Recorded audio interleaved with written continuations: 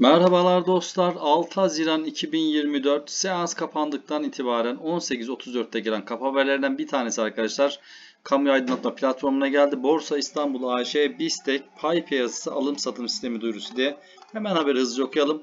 Pay piyasasında volatilite bazlı tedbir sisteminde arkadaşlar. İki tane hissemize tedbir geldi. Haber hemen okuyalım sırayla.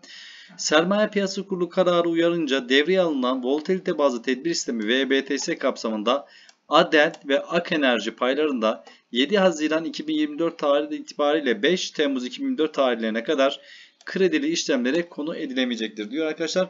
Bu en basit tedbir arkadaşlar. Onu söyleyeyim. Çok da ciddi paniğe kapılacak bir durum değil. Borsayı çok fazla bilmeyenler arkadaşlar için söylüyorum.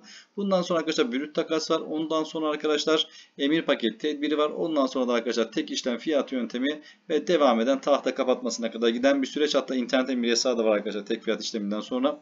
Hayırlısı olsun diyelim bakalım zaman neyi gösterecek hep beraber göreceğiz. Çok ciddi sıkıntı olacağını düşünmüyorum ama volatiliteyi biraz yani böyle ani hareketleri biraz azaltır diye düşünüyorum.